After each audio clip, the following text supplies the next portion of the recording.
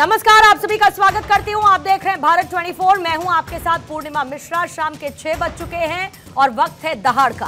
हाथरस भगदड़ की जाँच कर रही एसआईटी की रिपोर्ट पर। अब सवाल उठने लगे हैं। बीएसपी सुप्रीमो मायावती ने कहा कि एसआईटी की रिपोर्ट घटना की गंभीरता के हिसाब से नहीं होकर राजनीति से प्रेरित ज़्यादा लगती है।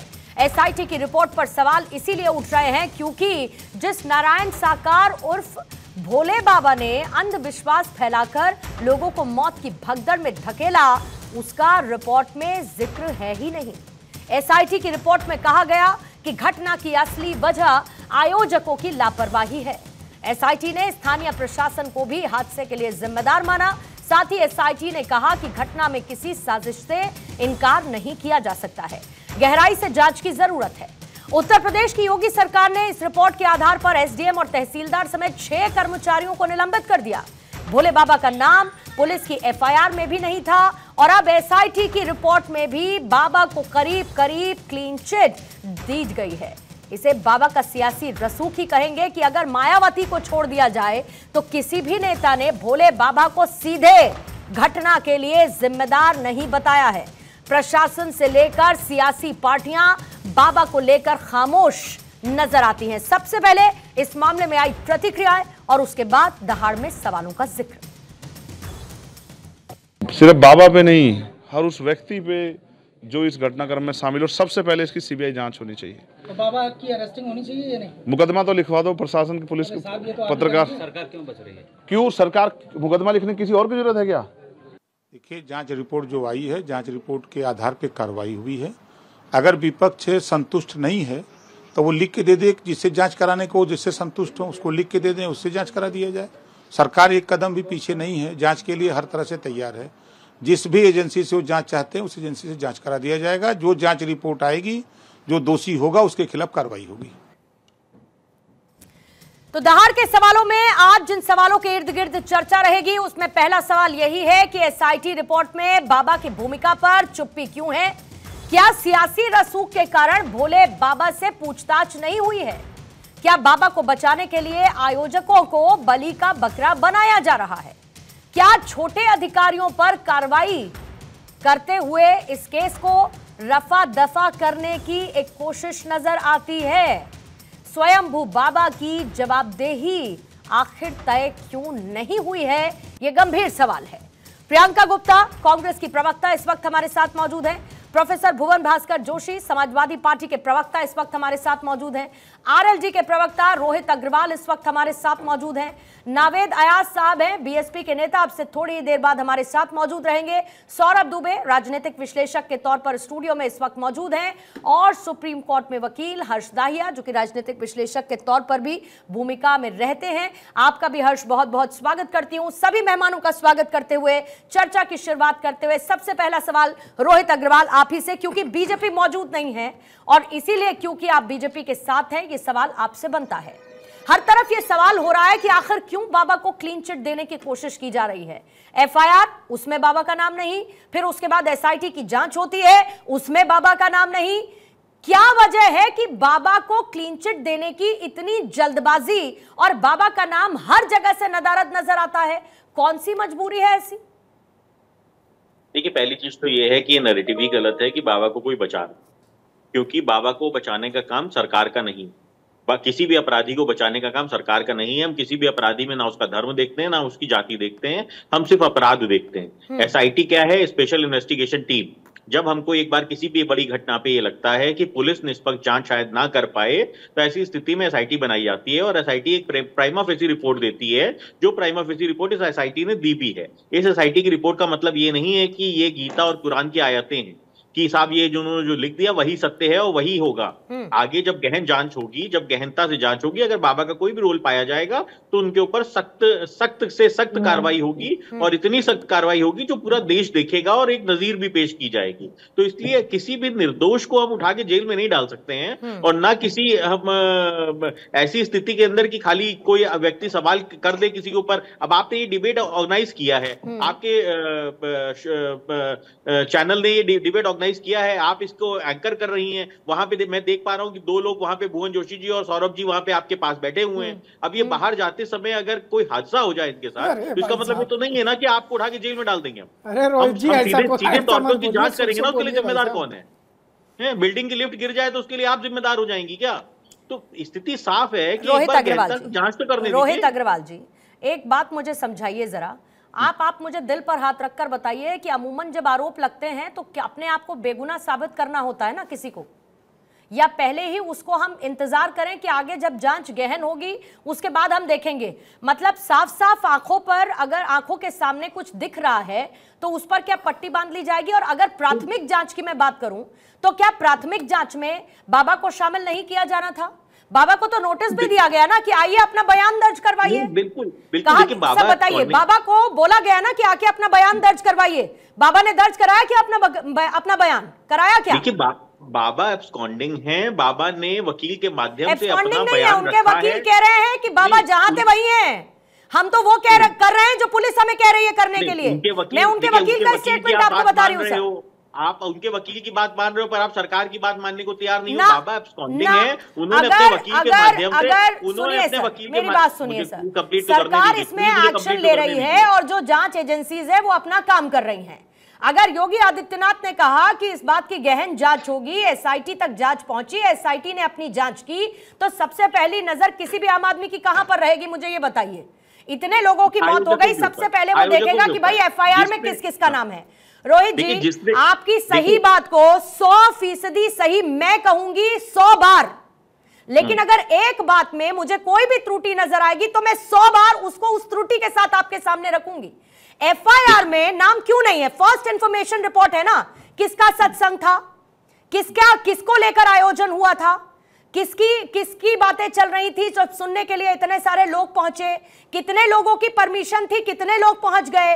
और to remind you Rohit Agarwal ये बयान योगी आदित्यनाथ का है कि इस तरीके के निजी आयोजनों में प्रशासन को घुसने नहीं दिया जाता है।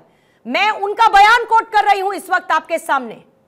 ऐसे लोगों का औहदा क्या इतना बड़ा है कि उनके आयोजनों में पुलिस प्रशासन एंट्री नहीं ले सकता? पूर्णिमा जी अगर आप भी अपने घर में कोई आयोजन करेंगे तो पुलिस प्रशासन नहीं घुस सकता है। यहाँ पे औहदे की कोई बात नहीं मेरे घर पर डेढ़ लाख लोग इकट्ठा नहीं होंगे सर।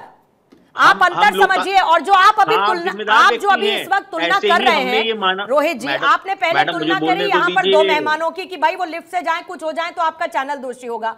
खुदा ना करे भगवान ना करे कभी ऐसा किसी के साथ हो। फिर अब आपने कह दिया मेरे घर पर आ जाएगा तो प्रशासन नहीं घुस पाएगा। अरे प्रशासन से मैं परमिशन तो ले रही हूँ। बताऊँगी ना उनको कि दस हज़ार लोग इकट्ठा हो रहे हैं। कि हाँ, मैं बताऊँगी दस हज़ार लोग हैं और मेरे घर पर आ जाएँगे डेढ़ लाख लोग। प्लीज़ मुझे कंप्लीट तो करने दीजिए। देखिए यही बात है कि हम अगर प्रशासन से आप परमिशन लेने आते हो तो आपको देश का नागरिक मानते हुए जिम्मेदार नागरिक मानते हुए आदमी ये मानता है कि जो आयोजक ने वहाँ पे नंबर्स दिए कि 84,000 पीपल आएँगे वहाँ पे चौरासी हज़ार ही आएँगे। ब्लैंक था नंबर अगर वहाँ पे ढाई लाख आ जाते हैं तो वहाँ पे फेल्योर कितने लोग आयोजकों इकट्ठा का होंगे है वो नंबर ब्लैंक था। आपको दिखाऊँ मैं परमिशन का लेटर उनसे ये कहा गया आपके पास उनसे है ये कहा गया कि कम से कम लोग जितने लोगों की आप बात कर रहे हैं इसमें भी कम संख्या करिए। ये कहा गया लेकिन उससे दोगुनी संख्या वहाँ पर रही। आप मेरी बात समझिए रोहित अग्रवाल जी। मैं क्या कहना चाहती हूँ मेरा तात्पर्य क्या है? क्योंकि मैं यहाँ पर 121 लोगों की मौत की बात कर रही हूँ जो उस भगदड़ में मर गए जो आयोजन हुआ। जिसके लिए इजाज़त मिली और उस इजाज़त देने में लूप होल्स थे तभी तो छह अधिकारियों को हटाया गया कि नहीं हटाया गया? ये बताइए मुझे। पूर्णिमा जी पूर्णिमा जी मैं आपकी पीड़ा समझ सकता हूँ। देखिए कोई भी व्यक्ति संवेदनशील व्यक्ति 121 मौतों के ऊपर इसी तरीके से उसका हृदय रोएगा जैसे आज आपका रो रहा है। इसी तरीके से वो गुस्सा करेगा जैसे आप कर रहे हो। और इसके लिए सरकार संवेदनशील है और सरकार किसी भी दोषी को बख्शेगी नहीं। एसआईटी की एक प्राइमा फेसी रिपोर्ट आई है उसमें जो भी आरोपी उन्होंने बताए उन सब के ऊपर कार्रवाई हो गई है। हम्म। चाहे वो आयोजक हो चाहे वहाँ पे आयोजक के जितने भी साथी हो सब पे कार्रवाई हो गई पर है। गाज गिरी और है। अधिकारियों पे भी कार्रवाई हो गई छह अधिकारियों पर गाज गिरी है और इसीलिए कहा जा रहा है कि सारी की सारी गलती तो ये नीचे लेवल पे जो अधिकारी हैं इन्हीं की हो सकती है। बड़े लोगों की तो गलती हो ही नहीं सकती है। मैं नहीं कह रही हूँ। ये जिन जिनको थोड़ी सी भी समझ है और इस मामले को लेकर सेंसिटिव है उनके जहन में यही बात है। और मैं आपको एक लेमैन की सोच बताती हूँ। कोई भी सिस्टम चलाने के लिए। किसी भी सिस्टम को चलाने के लिए एक सिस्टम बनाया जाता है एक जिम्मेदार लोगों को बैठाया जाता है। है। और एसडीएम सिस्टम कोई छोटा व्यक्ति नहीं होता है। एसडीएम सिस्टम एक पीसीएस अधिकारी होता उसके बारे में बात की जाएगी उसको लेकर सवाल भी किए जाएँगे। रोहित अग्रवाल आपके हाँ, पास आती हूँ। नावेद अयाज साहब। ठीक है सर मैंने रोहित जी आपको इतना समय इसीलिए दिया क्योंकि इस तमाम सवाल अभी आपके पास विपक्ष की तरफ़ से आएँगे। आपका पर्सपेक्टिव विपक्ष को क्लियर होना चाहिए ताकि इस पर खुलकर चर्चा हो सके। अब आती हूँ नावेद अयाज साहब आपके पास। क्यों मायावती जी को लगता है कि जो एसआईटी की रिपोर्ट आई, वो इस मामले की गंभीरता के हिसाब से नहीं, बल्कि राजनीति से प्रेरित है। मुझे बताइए, किसका फ़ोन कॉल जा रहा है एसआईटी के मेंबरात को कि भाई, इनका नाम रखिए, इनका नाम मत रखिए।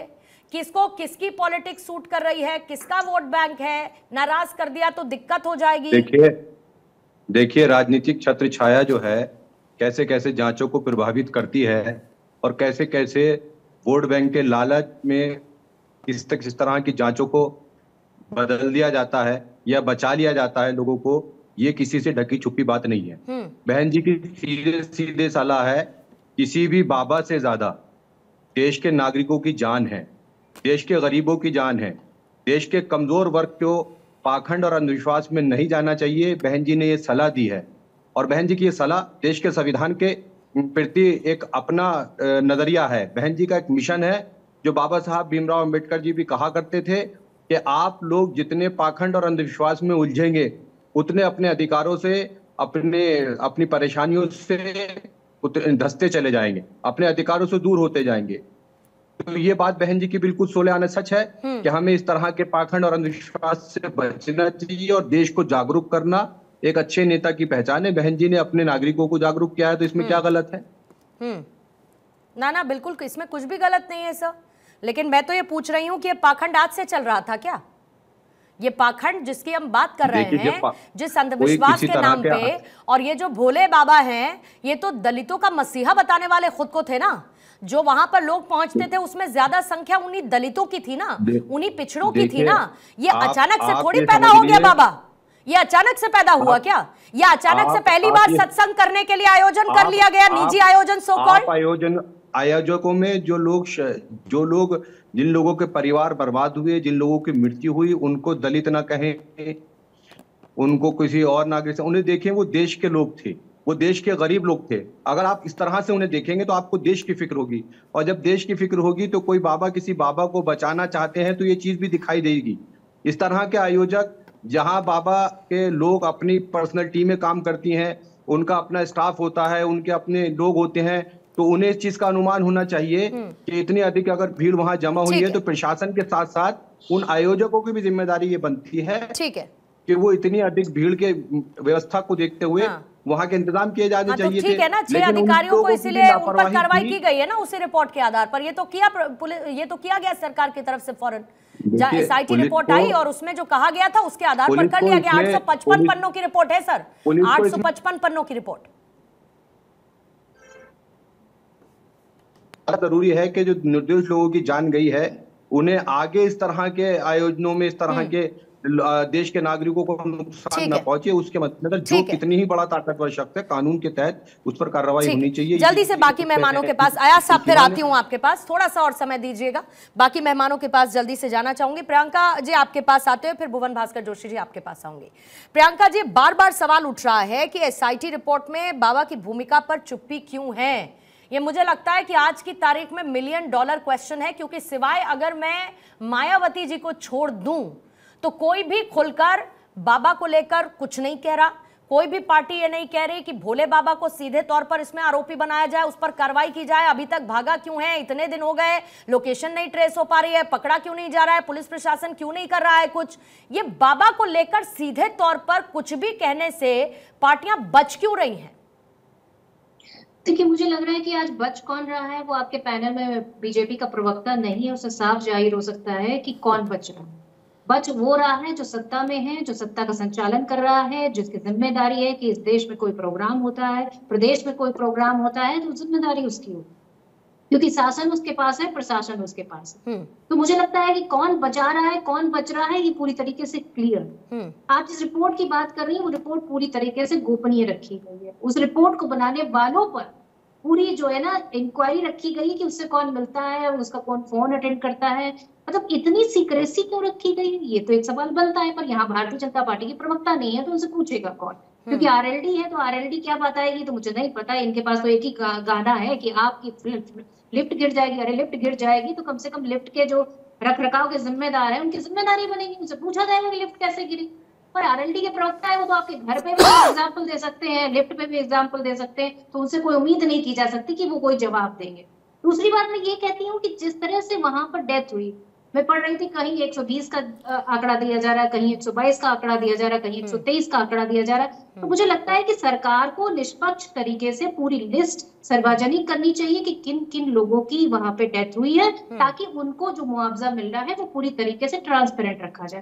ऐसा ना हो कि डेथ का नंबर कुछ और हो और यहाँ पर दिखावे में 120 123 122 के नंबर में ही कुछ घपला चल रहा हो। हम्म, ठीक है दूसरी चीज़ मैं हाँ. कहूँगी कि जिस तरह से छोटे अधिकारियों पर जो है गाज गिरी है तो मैं पूछना चाहती हूँ कि वहाँ जो सिकंदरा राव के इंस्पेक्टर थे उन्होंने लिखित रूप से एसपी एसएसपी को जानकारी दी पत्र लिखकर कि वहाँ एक लाख तक की भीड़ आएगी पर वो पत्र घूमता रहा एसपी एसएसपी के हाथ में पर फिर भी वहाँ पर जो संख्या है जो वहाँ पर लगाने चाहिए थे कर्मचारी जो वहाँ की व्यवस्था को मैनेज करने के लिए वो वहाँ पर नंबर ऑफ़ संख्या कितनी थी? वो बीजेपी के प्रवक्ता होते तो शायद बेहतर बता पाते क्योंकि उसमें भी झोल चल रहा उसका भी एग्जैक्ट नंबर नहीं पता कि वहाँ पर कितने जो है कांस्टेबल लगाए गए थे कितने लोग वहाँ पर उसकी देखभाल के लिए लगाए गए।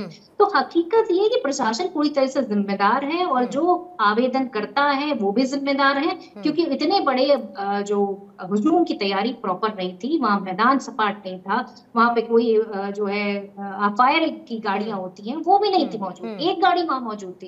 इतनी भीड़ के साथ में मिनिमम पाँच से छह गाड़ियाँ वहाँ होनी चाहिए थी।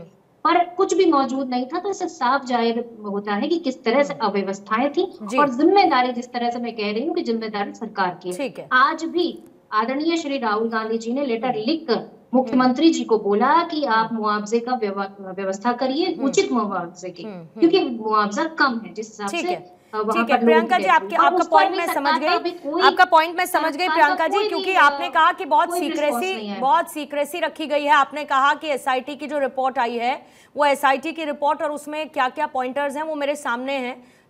थोड़ा समय की कमी के चलते मैं वो सब पढ़कर आपको नहीं बता पाऊँगी। इसमें कोई सीक्रेसी नहीं है एसआईटी की रिपोर्ट में जिन बातों का ज़िक्र किया गया है उसमें ये क्लियर लिखा गया है कि है, आयोजकों ने तथ्यों को छिपाकर प्रियंका जी इसमें क्लियर लिखा गया है कि जो आयोजक थे, उन्होंने तथ्यों को छिपाकर कार्यक्रम के आयोजन की अनुमति ली। इसमें यह भी लिखा गया है कि अधिकारियों ने कार्यक्रम को गंभीरता से नहीं लिया। जो वरिष्ठ अधिकारी हैं, उनको कोई जानकारी नहीं दी गई। इसके साथ ही एसआईटी ने जो अधिकारी उनके विरुद्ध कार्रवाई करने की बात इसमें की थी, जिसके बाद छह अधिकारियों को सस्पेंड भी कर दिया गया। इसमें और भी बहुत सारी चीज़ें हैं, जिनका ज़िक्र किया गया और दूसरा आपने पूछा नंबर ऑफ़ कितने पुलिस फोर्स वहाँ पर मौजूद थी। लगभग मेरी जानकारी के हिसाब से 40 के आसपास थे, जो इतनी पूरी भीड़ को संभालने के लिए नाकाफी थे। पॉइंट पर मैं आपसे 100 परसेंट अग्री करती हूँ। लेकिन भुवन भास्कर जोशी जी आपके पास आते हुए किसको बलि का बकरा बनाया जा रहा है? ये छोटे अधिकारी इनको बलि का बकरा बनाकर क्या किसी को बचाने की कोशिश हो रही है? और मैं इसीलिए आपसे पूछ रही हूँ आप चाहें तो कम से कम अब आप ये कह सकते हैं कि बाबा दोषी है। पूर्णिमा जी चाहें तो। पूर्णिमा जी हमारे नेता माननीय अखिलेश यादव जी ने जिस दिन घटना हुई उसी दिन बताने का काम करा ये सरकार का फेलियर है योगी सरकार का फेलियर है ये उनके एडमिनिस्ट्रेशन का फेलियर है ये उनके एलआईयू का फेलियर है इंटेलिजेंस का फेलियर है। और मैं आपको बताना चाहता हूँ जब सरकार से परमिशन ले अप्लाई कर दी जाती है तब से सरकार का उस कार्यक्रम में इन्वॉल्वमेंट प्रारंभ हो जाता है। तो सर आज इतनी जो बड़ी घटना घट गई त्रासदी हो गई इसके लिए कहीं ना कहीं ये सरकार ज़िम्मेदारी है और उनके ये लोग बच रहे हैं अपनी जवाबदेही से बच रहे हैं। इसीलिए देखिए आप आज चैनल में भी भारतीय जनता पार्टी का प्रवक्ता नहीं है कि जवाब दे वो सके। कोई बात नहीं सर कई डिबेट्स में आप भी नहीं होते कई डिबेट्स में कांग्रेस भी नहीं होती है। मुद्दे के हिसाब से आप जानते हैं। सरकार- सर- पार्टी से ऑर्डर आता है नहीं बैठना है तो नहीं बैठते मैं उसी तो विषय उसी नॉर्मल सी है मैं मैं पूर्णिमा जी उसी आपकी विषय कह रहा हूँ एक गंभीर मुद्दा जिससे सरकार अपनी जवाबदेही से बच रही है। हाँ। आज सरकार को जवाब देना चाहिए उनके प्रवक्ताओं को जवाब लेकिन आज सरकार? अनदेखी कर रही है। बाबा? मैं आ रहा हूँ। मैं पूर्णिमा जी उस विषय पे बाबा पे पूछेंगे तो गला सूख जाएगा इनका। रोहित जी आवाज़ निकलना बंद रोहित जी कई बहस की ज़रूरत पड़ेगी रोहित जी कई बहस कर चुके हैं शालीन लोगों की बहस है शालीन चैनल है पर आपकी आदत इतनी वैसी हो गई है आपने हमेशा एक नियम बना रखा है आप घर से ही वो पानी पी के चलते हैं कि दूसरे जो पार्टी का समय है उसको भी आपने खाना है। ये, ये रोहित ये की आदत नहीं है। ये स्पेशली रोहित अग्रवाल की आदत है कि बहस को कैसे इंटरप्ट करना जाए ये रोहित अग्रवाल को प्रॉपर टाइम मिल गया था अपने समय में बोलने का। लेकिन वो बेफालतू में समाजवादी पार्टी के समय में घुसने का प्रयास करते हैं डिबेट को डिबेल करते हैं और ये आपकी आदत बन चुकी है ये लोकदल की आदत नहीं है। ये रोहित अग्रवाल की आदत है। जो पर्टिकुलरली इसी काम के लिए आते हैं कि कैसे वो समाजवादी पार्टी के समय में अरे ज़िम्मेदारी बनती है आपकी। आपकी ज़िम्मेदारी बनती है। आप आपने क्यों नहीं गिरफ़्तार करा मैं पूछना चाहता हूँ आपने क्यों गिरफ़्तार नहीं करा? अरे आपकी सरकार है कि नहीं? आप उसमें सहभागिता है नहीं? आप बताइए देश को बताइए प्रदेश को। आपकी सहभागिता केवल मलाई खाने को है प्रदेश जानना चाहता है। क्यों नहीं गिरफ़्तार आज दोषारोपण आप पे रोहित अग्रवाल आज आप जवाब नहीं दे पा रहे हो। आज आपकी जवान सूख गई है क्योंकि सरकार आपकी है और आपकी सहभागिता है। क्या आपके आपके लोग चूड़िया पहन रखी है तो क्यों नहीं आप धरना करते क्यों नहीं प्रदर्शन करते सरकार के खिलाफ? क्योंकि आप तो केवल मलाई खाने के लिए सरकार में अच्छा रोहित जी प्लीज़ रुकिए रोहित जी रोहित जी रोहित जी रोहित जी रोहित जी रोहित जी रोहित जी न्याय प्रक्रिया पे विश्वास जानते हैं कि समय समय बहुत सीमित रहता है। रोहित जी आप जानते हैं समय बहुत सीमित रहता है और कम से कम शुरुआत में चार से पाँच सवाल लेके मैंने आपको भरपूर समय दिया। आपसे उम्मीद रखती हूँ कि बाकी प्रवक्ताओं को बोलने का मौका देंगे। भुवन भास्कर जोशी जी अपनी बात को पूरा कीजिएगा और दूसरा ये कहते हुए कि चूड़िया पहनना कोई कमज़ोरी की निशानी नहीं है। ये बात मैं कई बार दोहरा चुकी हूँ और मुझे बहुत चुभती है ये बात। मुझे बहुत चुभती है मैं उस पर इसीलिए बहुत डिटेल में नहीं जाऊँगी क्योंकि समय जाया होगा। नहीं मेरी बात अरे सुनिए ना सर अरे तो चूड़िया पहनने का क्या मतलब है? चूड़िया पहन फिर क्यों? आपके मुँह से कैसे निकल गया? आप कहेंगे मैं छोड़ दू आप कहेंगे पकड़ लो तो पकड़ लूँगी। थोड़ी आप मुझे बताएँगे सर। आपको भी तो अपनी जबान पर काबू रखना चाहिए ना कि मुझे क्या बोलना है और क्या नहीं। नहीं नहीं बात को करिए मुद्दे पर आइए। और मेरा सवाल था आपसे। मेरा सवाल था। Rohit ji Rohit ji please Rohit ji please please Rohit ji.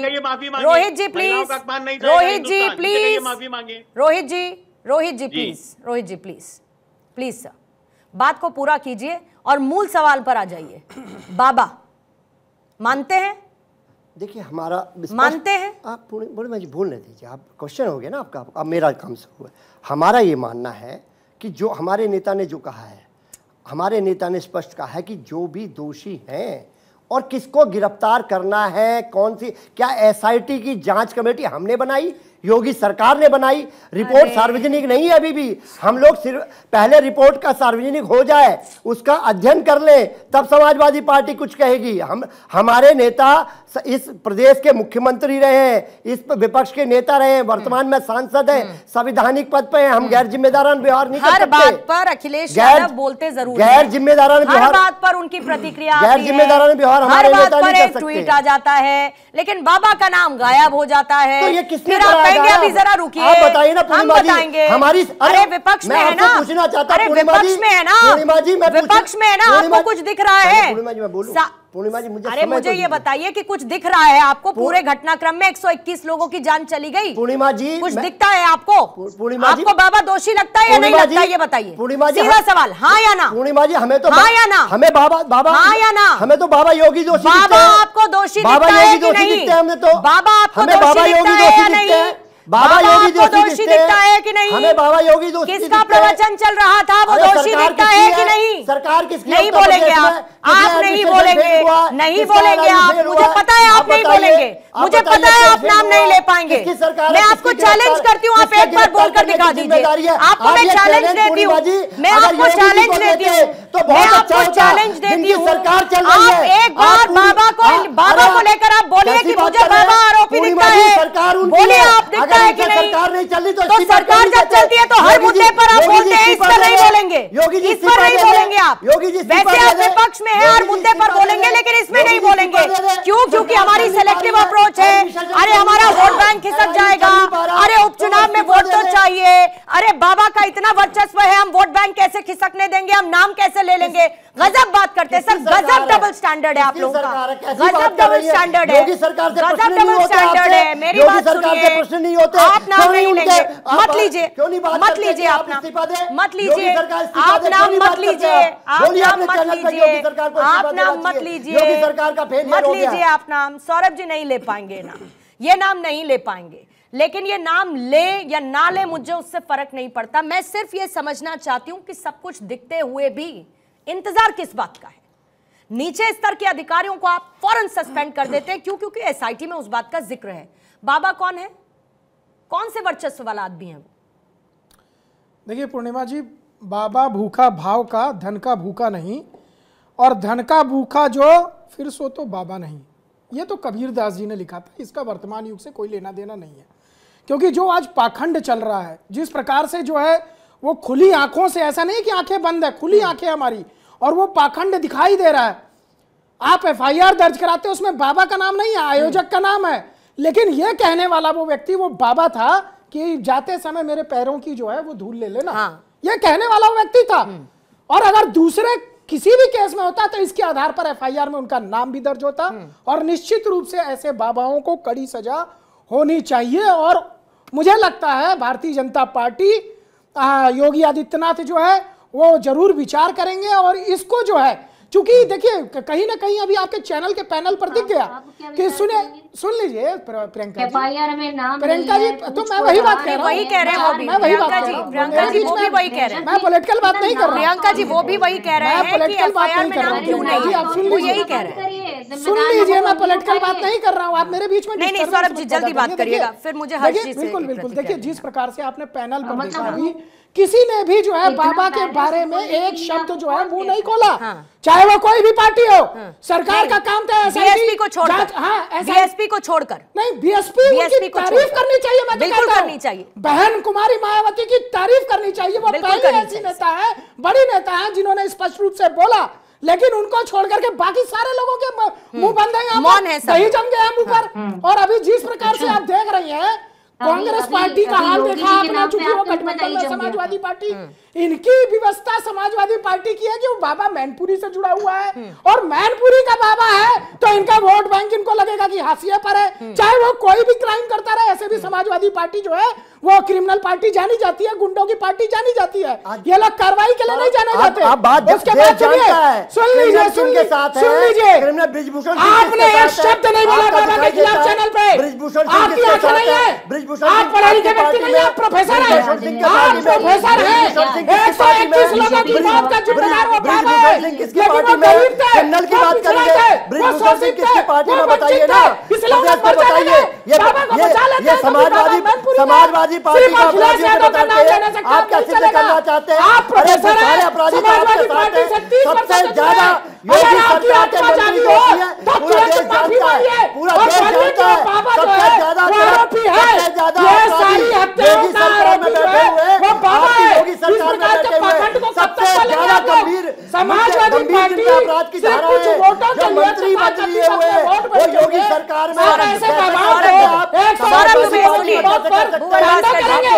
आपको शर्म आनी चाहिए, कांग्रेस सौरभ जी, सौरभ जी, सौरभ जी, सौरभ पार्टियाँ जो करता सौरभ जी, भारतीय सौरभ जी। जनता पार्टी का कार्यकर्ता सौरभ जी, हम ये भी जानते हैं सौरभ दुबे, निकल रही। भारतीय जनता पार्टी का कार्यकर्ता आपको शर्म चाहिए आपको करनी चाहिए लीजिए। सबसे अरे, ज़्यादा शर्म एक सेकंड सर एक सेकंड रुक जाइए। हर्ष दया सबसे ज़्यादा शर्म इस बात पर आनी चाहिए कि यह मुद्दा भी राजनीति से अछूता नहीं है। आप 121 लोगों की मौत की बात कर रहे हैं लेकिन इस पर क्या हो रही है? पॉलिटिक्स हो रही है।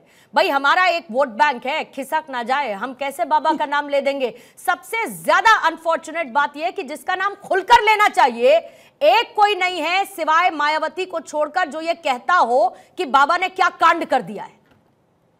पूर्णिमा जी ये देश का सबसे बड़ा दुर्भाग्य है कि वोट बैंक से आगे कोई भी पार्टी देख नहीं पाती।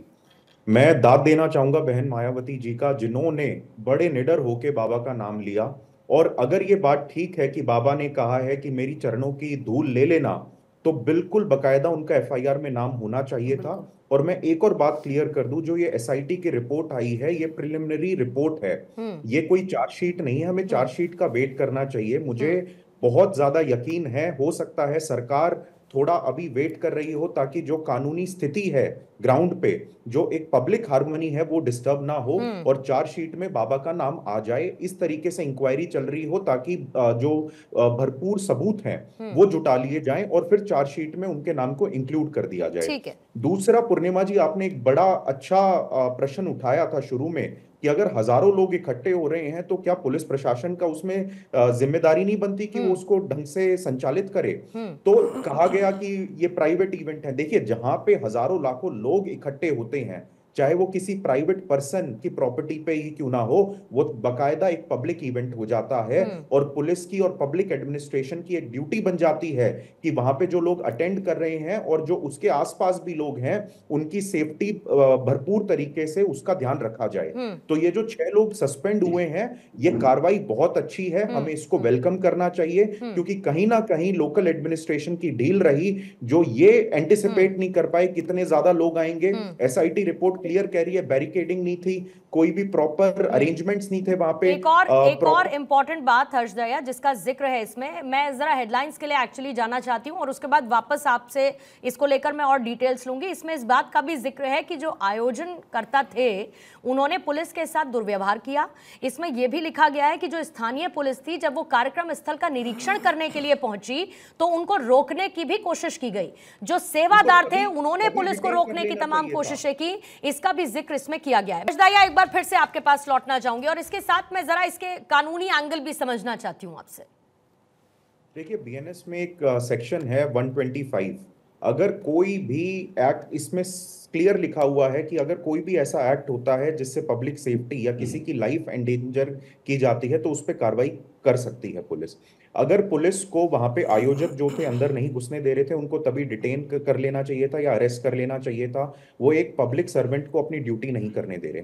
और जहाँ पे जैसे कि मैंने पहले कहा पूर्णिमा जी कोई भी इवेंट जिसमें हज़ारों लोग इकट्ठा होंगे और यहाँ पे तो लाखों लोग इकट्ठा हो रहे थे वो प्राइवेट नहीं रहता। चाहे मैं अपने घर की या अपने फार्म हाउस की एक चार दीवारी में कोई इवेंट करूँ जिसमें हज़ार दो हज़ार लोग भी आते हैं और उससे कोई पब्लिक सेफ्टी पे कोई परेशानी आती है वहाँ पे जो लोग अटेंड कर रहे हैं उनकी जान को कोई खतरा होता है। क्योंकि और जो हर्ष दहिया की तरफ़ से किया गया। रोहित अग्रवाल जी आपकी प्रतिक्रिया उस पर लेना चाहूँगी क्योंकि मैंने उनसे सियासी उनसे मैंने कानूनी एंगल इसीलिए समझने की कोशिश की क्योंकि उन बातों का ज़िक्र आपने किया।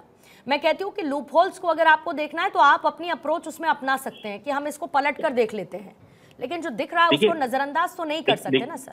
देखिए पूर्णिमा जी एक चीज़ ये है कि विपक्ष राजनीति कर रहा है इस मुद्दे पे और अगर हम राजनीति कर रहे होते तो हमारे लिए तो सबसे आसान था कि बाबा को उठा के जेल में डाल दो क्योंकि हमने जिस तरीके से देखा कि वो अखिलेश यादव जी किस तरीके से जय जयकार कर रहे थे उस बाबा की पूरे विश्व में उनकी महानता हो फैले इसके लिए नारे लगा रहे थे तो वो तो हमको ऐसा लगता है ऐसे उनके आध्यात्मिक गुरु हो। तो हमारे लिए तो सबसे आसान था कि उठा के बाबा को जेल में डाल दो। और दूसरी बात ये जो कहते हैं कि वोट बैंक की राजनीति कर रहे हैं। तो मैडम जो पीड़ित परिवार हैं 123 जो लोग मरे हैं वो पीड़ित परिवार भी इसी समाज से आते हैं दलित समाज से आते हैं। तो अगर हमको वोट बैंक की राजनीति करनी होती तो सबसे पहले तो हम फिर एक्शन में दिखते ना आपको। तो हम हम हम तो आप इन एक्शन में आप ये कह रहे हैं। हम बिल्कुल एक्शन में हैं। हम पूरी तरीके से एक्शन में आप सबसे एक्शन पहले में दिखते हैं इसीलिए मैंने पूछा तो क्या आपको लगता है कि आप इन एक्शन में हैं? नहीं नहीं हम एक्शन में हैं। हाँ। हम एक्शन में होते हैं मतलब ये है कि जो आज आप सवाल पूछ रही हैं कि बाबा जेल में क्यों नहीं है तो बाबा हाँ। जेल में होता। नहीं तो सवाल मैंने जब पूछा होते तो आपने कहा विपक्ष राजनीति कर रहा है। अरे छोड़िए ना साहब विपक्ष को करने दीजिए राजनीति। मैं तो पूछूँगी ना सरकार क्या कर रही है? या प्रशासन क्या कर रहा है? आप जो सवाल पूछ रही हैं बिल्कुल सही सवाल हैं और एसआईटी ने गहनता से जाँच की है और उसने जो उसकी जाँच का जो एक बिंदु है। वो ये भी है कि इसके अंदर साजिश से इनकार नहीं किया जा नहीं सकता किया जा सकता और इसमें और गहन जाँच की ज़रूरत है भुवन भास्कर जी आपकी बात का जवाब देना चाह रहे है। भुवन जी आपकी बात का जवाब देना चाह रहे हैं। देश ने देखा है कि माननीय प्रधानमंत्री जी उत्तर प्रदेश के सरकार के लोग देश के सरकार के लोग किस प्रकार बाबाओं के चरणों में रहते हैं ये देश ने देखने का काम करा है और देश जानता तो है कि ऐसे यार क्या है यार देखिए सबसे प्रॉब्लम है यार, हो है? हो?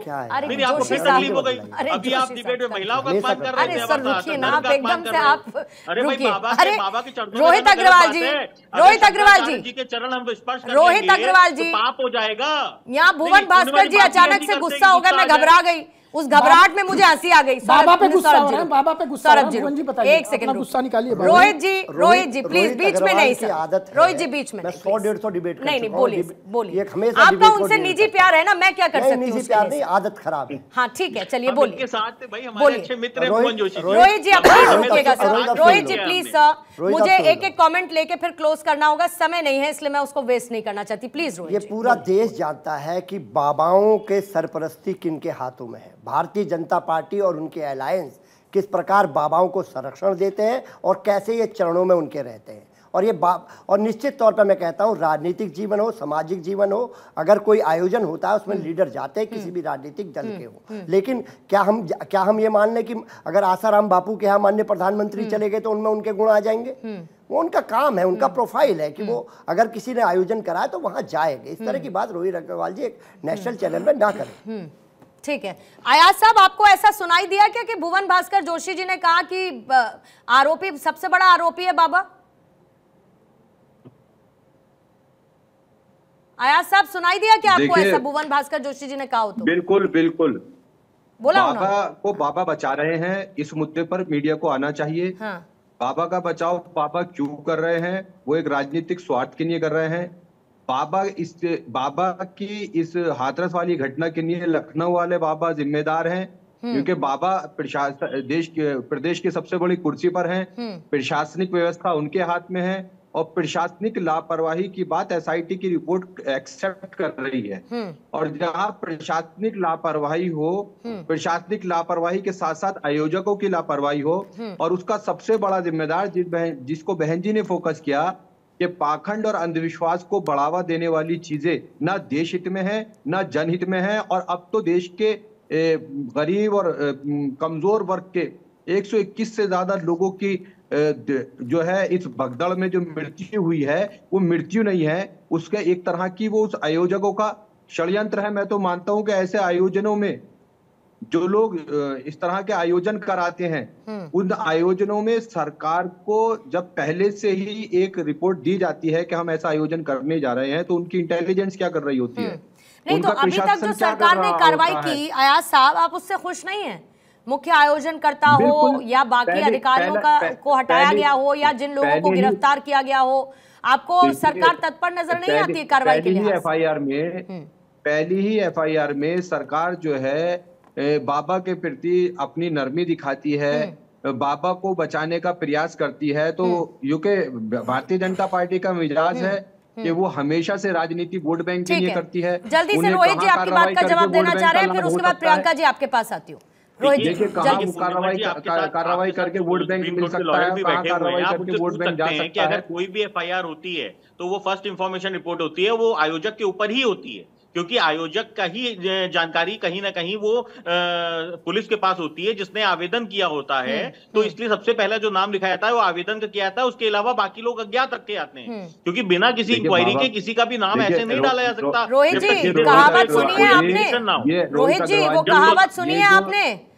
बड़ी मछली जो है वो हमेशा छोटी मछलियों को खा जाती है।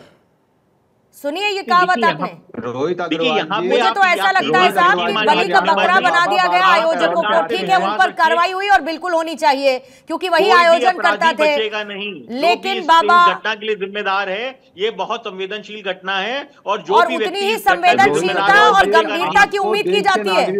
उतनी ही संवेदनशीलता। अच्छा एक बात बताइए रोहित अग्रवाल जी फिर उसके बाद मैं लौटती हूँ बाकी मेहमानों के पास। रोहित साहब ये बताइए मुझे जरा कि आप हम इतने भी सक्षम नहीं है कि लोकेशन ट्रेस कर पाए बाबा की कोई?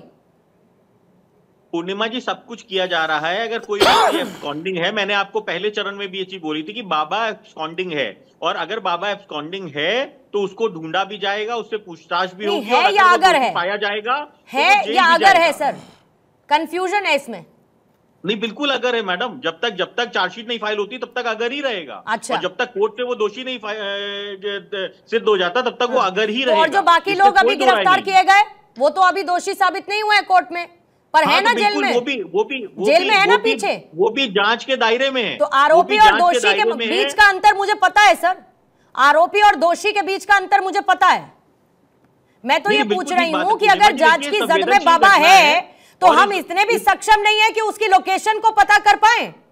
नहीं नहीं हम पूरी तरीके से सक्षम है और पूर्णिमा जी आप निश्चिंत रहिए सरकार पे विश्वास रखिए। सर निश्चिंत निश्चिंत आप अगर निश्चिंत किसी को तो रहने के लिए कहना चाहते हैं ना रोहित जी तो मुझसे ज़्यादा आप बोलिए उन 121 लोगों के परिवारों को। मैं बार बार इस बात का ज़िक्र करती हूँ कि कोई उस दो साल तीन साल की बच्ची को जाके अपनी निश्चिंती दिखाए। कोई उस माँ बाप को जाकर निश्चिंती दिखाए जिनका पाँच साल का बच्चा गायब है भगदड़ में मर चुका है जिसके बारे में कोई जानकारी नहीं है। आप जाकर उन 121 परिवार वालों से निश्चिंती रखने को बोलिए ना। रख लेंगे अगर इतना ही पेशेंस लेवल सबका हो तो बेहतर। घटना दुखद है ये घटना सर, दुखद है ना, इसीलिए उसमें और ज़्यादा गंभीरता की दरकार है ना। नहीं की जा सकती और दुखद होने के साथ साथ दुखद होने के साथ साथ इस बात को इस सवाल को फिर से पैदा करती है कि आम लोगों का जीवन इतना सस्ता हो गया है क्या? प्रियंका गुप्ता जी। देखिए, पूर्णिमा जी, अभी यहाँ अंधविश्वास की बात चल रही थी तो अंधविश्वास से जैसे प्रधानमंत्री खुद ही कहते हैं कि वो बायोलॉजिकल नहीं है, उनका डायरेक्ट गॉड से कनेक्शन है तो फिर आगे किसको आप रोकिएगा और किसको आप रोकिएगा दूसरी बात, यहाँ सौरभ जी बैठे हुए थे। सौरभ जी का कहिए कि भारतीय जनता पार्टी के जो यहाँ के चीफ मिनिस्टर हैं, आदित्यनाथ जी, उन्होंने उनको फ़ोन करके बताया है कि वो एक्शन लेंगे। तो इन्हीं इन्हीं के ऊपर सारा ठीक देखिए ऐसा है मैंने अभी जो एसआईटी की जाँच आई है ना रिपोर्ट आई है अभी वो प्रारंभिक रिपोर्ट है। अगर जानकारी नहीं हो प्रियंका जी तो जानकारी लेकर के बैठा करिए कहना ठीक है? चाहूँगी कि बहन जी को कम से कम वहाँ जाकर उन आप बोलिए आप बोलिए चैनल के बाबा जिम्मेदार हैं, आप बोलिए चैनल पे बाबा जिम्मेदार है। आप बोल दीजिए बयान दे तो- दीजिए। हम तो शुरू से कह रहे हैं बाबा जिम्मेदार है। तो अखिलेश यादव जी को अपने जो गठबंधन के साथ आपके साथी हैं इनके इनसे आप अपील करिए। अखिलेश यादव जी से अपील करिए उत्तर प्रदेश के में जो है वो दूसरी सबसे बड़ी पार्टी है तो कि वो जाकर के एफ़ आई आर क्या लिखवाएँ? बाबा के खिलाफ। एफ़ आई आर लिखवा दीजिए बाबा के खिलाफ जाकर के। आप तो लिखवा सकती मिर्ची क्यों लग रही है आप? आप लिखवा सकती है अगर सरकार नहीं अपना काम कर रही है आप जाकर के एफ़ आई आर बोल रहे थे कि आपको उन्होंने फ़ोन किया होगा। मैंने इतनी मुझे मुझे फ़ोन लग नहीं किया। लेकिन योगी तो आदित्यनाथ जी हूँ, के जो व्यक्तित्व है जो उनका सरकार चलाने का तरीका है वो माफियाओं को लेकर अच्छा के अपराधियों को लेकर के स्पष्ट है उत्तर प्रदेश के अंदर जो है माफिया हैं, और जितने अपराधी हैं उन पर लगाम लगाने का यहाँ काम योगी आदित्यनाथ की हैं। सरकार ने किया है तो हम नहीं अपेक्षा रखते हैं मैं तो कह रहा उनको था कि पता मैं है अपेक्षा करता हूँ कि बाबा जो तो है वो इस पर और कड़ी कार्रवाई करेंगे लेकिन आप लोग को तो उपचुनाव रूप में दिखा बिठा रहे दिया गया हैं है। उपचुनाव दिखाई दे रहा है नहीं लेकिन सौरभ हैं। दिखाई सौरभ जी है। Saurabh ji Saurabh ji Saurabh ji having that having said that जो आप कह रहे हैं, चलिए मैं मानती हूँ कि वो गंभीरता दिखती है। मुझे तो बुलडोजर नज़र नहीं आ रहे, मैं तो देखना चाहती हूँ आश्रम पर चलते हुए। मैं नहीं देखना चाहती, मेरे साथ साथ वो 121 जो जाने गए, उनके परिवार वाले भी देखना चाहते मैं समझ रही हूँ सर वहाँ पर प्रेशर है और सेंटिमेंट से मैं सब आश्रम समझती हूँ। लेकिन कार्रवाई करने से प्रशासन को तो कोई नहीं रोक सकता है ना सर? कोई भी नहीं रोक सकता ना। बिल्कुल आप सही कह रही हैं। देखिए एक लाइन में बता दूँ ठीक है। कोई भी जुलूस निकालना कोई भी धार्मिक। कार्यक्रम करना उसके लिए बकायदा मुझे सब पता है सर मुझे सब पता है उस रहे परमिशन में लूपहोल से थे ना लेकिन सौरभ जी उस परमिशन में लूपहोल थे ना लेकिन उस परमिशन में थे ना, बस रहा बात खत्म। है। मैं तो खुल के कह रहा हूँ कि बाबा ठीक सबसे है। बड़ा अपराधी मेरे पास समय खत्म हो रहा है। हर्ष जी जल्दी से आपका एक क्लोजिंग कमेंट लूँगी सर हर्ष जी। जी। हमें पूरे देश को अंधभक्ति पाखंड और अध्यात्म में डिफरेंस करना सीखना पड़ेगा। आध्यात्मिक जैसे मैं बात करूँ तो एक बड़े फ़ेमस महाराज हैं प्रेमानंद जी वो इतनी अच्छी आदत अध्यात्म की बातें करते हैं उनको सुन के बड़ा अच्छा लगता है। आप उनके कभी भी वो देखिएगा थोड़े बहुत लोग बैठे होते हैं या उनका कोई कार्यक्रम भी होता है बड़े ही सही आयो उसका आयोजन बड़ा अच्छा होता है। तो ये जो अंधभक्ति है ये देश में से हमें खत्म करनी पड़ेगी और पुलिस को अपनी जिम्मेवारी समझनी पड़ेगी कि कोई भी ऐसा बड़ा आयोजन होता है उनकी पूरी पूरी जिम्मेवारी बनती है लोगों की वहाँ पे सेफ्टी की और ये बहाना नहीं चल सकता कि वो प्राइवेट इवेंट था हमें अंदर नहीं घुसने दिया गया। अगर आपको अंदर नहीं घुसने देना कुल मिलाकर सर एक लाइन की बात तो उसको है कि स्वयंभू बाबा की जवाबदेही तय होनी चाहिए समय लेकर हो जब होना है हो लेकिन होनी ज़रूरी है। और इस तरीके के आयोजन पर रोहित अग्रवाल जी, सरकार को सोचना चाहिए कि आगे इस तरीके के आयोजन हो तो क्या एक्स्ट्रा अलर्ट प्रशासन को रहने की ज़रूरत है? क्या ज़्यादा सख्ती प्रशासन को दिखाने की ज़रूरत है? या ऐसे आयोजनों पर पूरी तरीके से रोक लगाने की ज़रूरत है? ये बदलाव भी उस सिस्टम में, उस स्ट्रक्चर में करने की ज़रूरत इस हादसे के बाद कम से कम नज़र आती है। बहुत बहुत धन्यवाद आप सभी का चर्चा का हिस्सा बनने के लिए। दहाड़ में आज के लिए फ़िलहाल इतना ही।